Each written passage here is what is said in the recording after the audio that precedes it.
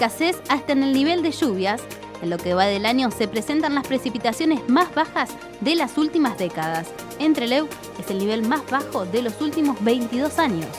Murió un joven en el centro de esquí de La Hoya. Martín Rossi Quiroga, de 22 años, murió mientras hacía esquí extremo.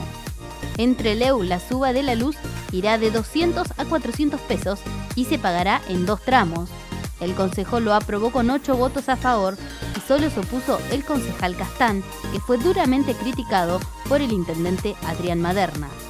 Repasamos el clima para mañana sábado, mínima de 6 grados y máxima de 22 en la zona del Valle y Puerto Madryn.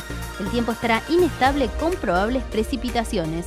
En Comodoro Rivadavia se espera una mínima de 9 y una máxima de 20, con tiempo ventoso.